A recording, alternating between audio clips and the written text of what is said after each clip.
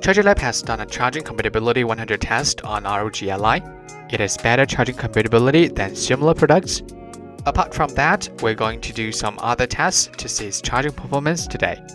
It adopts an AMD Ryzen Z1 Extreme processor. The RAM is 16GB and the ROM is 512GB. It has a customized 1080p 7-inch touchscreen that supports 120Hz and 500 nits. It has a built-in Windows 11 and Armoury Crate, so you can customize the buttons. As you can see, the buttons are the same as those on the Xbox Series X and S. There are the buttons on the left and the speaker below them. The rest of the buttons are on the right. Another speaker is below them. These two speakers made up the Dolby Atmos. The top has two triggers, LB and RB buttons. Here are the power button, volume buttons, USB-C port, ROG XG mobile interface, SD card slot, and the headphone jack. The USB-C port supports USB 3.2 Gen 2. In addition to 65 watts charging, it also supports DP 1.4. Two air outlets are also on two sides. The integrated anti-gravity heat pipes and two ultra-thin fans that are only 0.1 mm. Due to the lack of a USB-A port, the extended capability is not good enough. There are two customizable buttons, M1 and M2 on the back. A laser reflective stripe and the dustproof air inlets are also on the back. Specs info are below left air inlets. Is RC71L. It supports charging power up to 20 volts 3.25 amp, which is 65 watts. Let's take a look at the original charger. It comes with a non-detachable cable, and a classic ROG logo is printed on the front. All specs info are printed here. Is ADP-65JWX.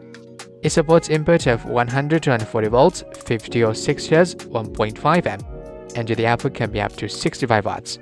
The manufacturer is Delta. The length of the cable is about 2 meter.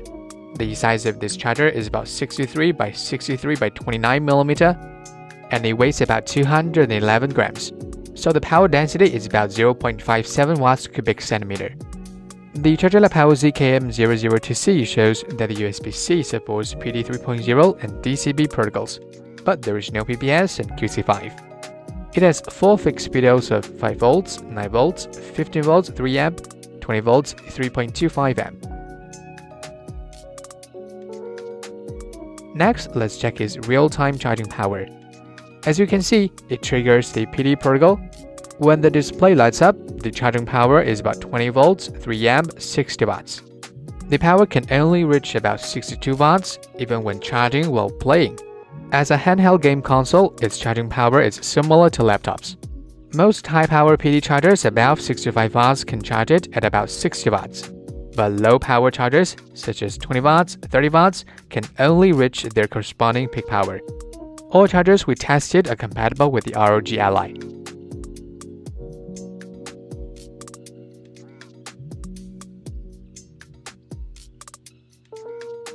Next, we'll use the original 65 watts charger to fully charge the ROG Ally.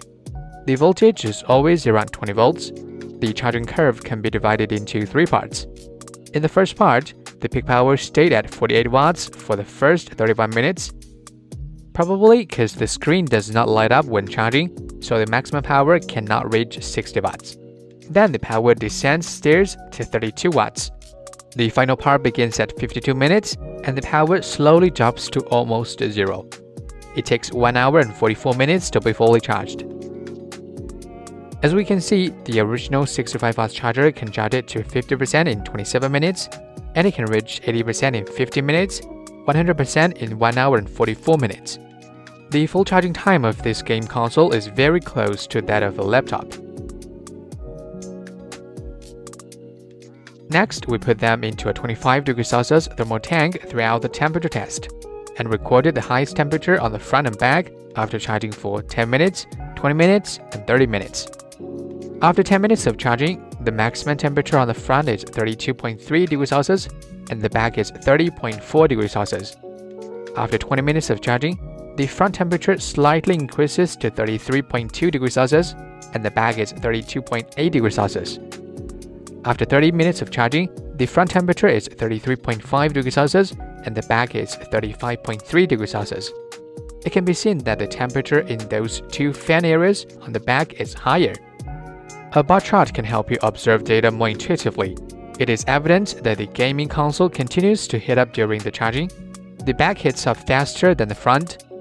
We know from the full charging test that the power is stable at around 48 watts for the first 30 minutes.